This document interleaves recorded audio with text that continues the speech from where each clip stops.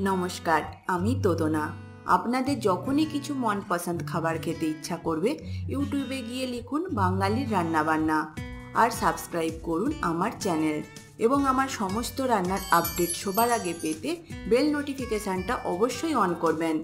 আজ আমি ডিম দিয়ে ফুলকপির ঝোল বানিয়ে দেখাবো। এটা ভাত বা রুটি দিয়ে পরিবেশন করা যায়। তাহলে দেখে নিন আমি কীভাবে ডিম দিয়ে এই ফুলকপি রান্না করে থাকি।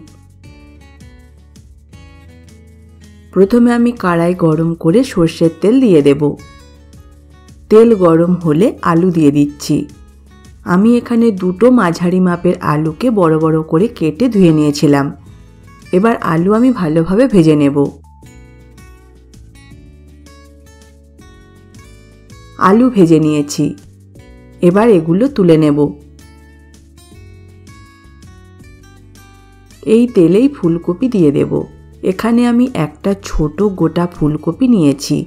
ফুলকপিটা আমি মাঝারি মাপ করে কেটে ধুয়ে নিয়েছি। ফুলকপি ভালোভাবে ভাজবো। ফুলকপি ভেজে নিয়েছি। এর মধ্যে সামান্য হলুদ গুঁড়ো দেব। হলুদ গুঁড়ো দিলে ভাজা ফুলকপির রঙটা ভালো আসে। এবার ফুলকপিগুলো তুলে নেব।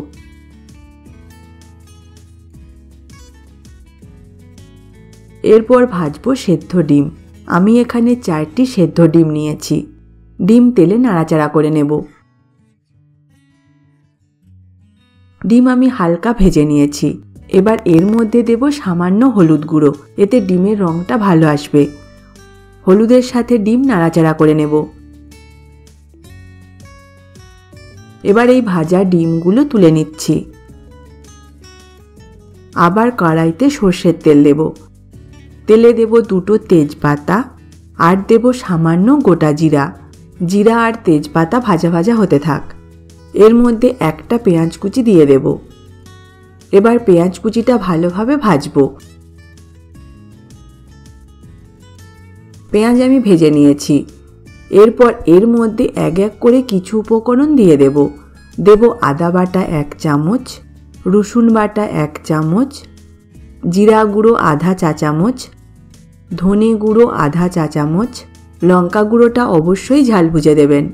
হলুদ গুঁড়ো আধা চা চামচ, কাশ্মীরি লাল লঙ্কার গুঁড়ো আধা চা চামচ, এটা আমি দিয়ে থাকি গ্রেভির রঙটা যাতে ভালো আসে।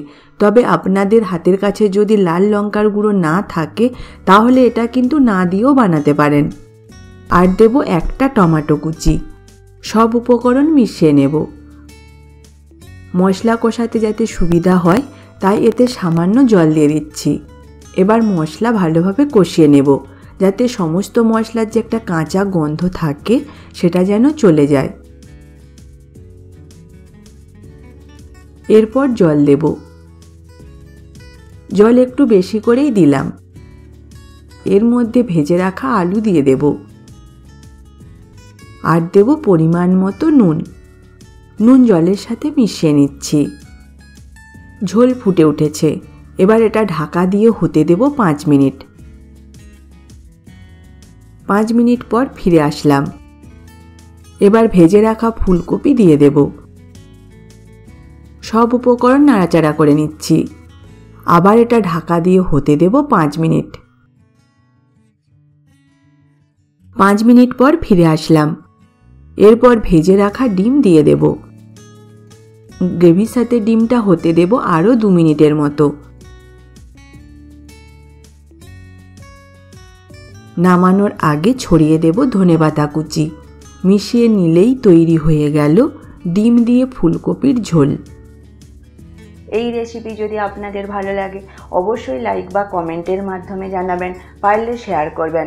আরও এই রকম নতুন নতুন রেসিপি পেতে আমার চ্যানেলকে সাবস্ক্রাইব করতে ভুলবেন না। আজ তবে এই পর্যন্ত থাক, আবার দেখা হবে নতুন কোনো এক রেসিপি নিয়ে। ভালো থাকবেন, সুস্থ থাকবেন, ধন্যবাদ।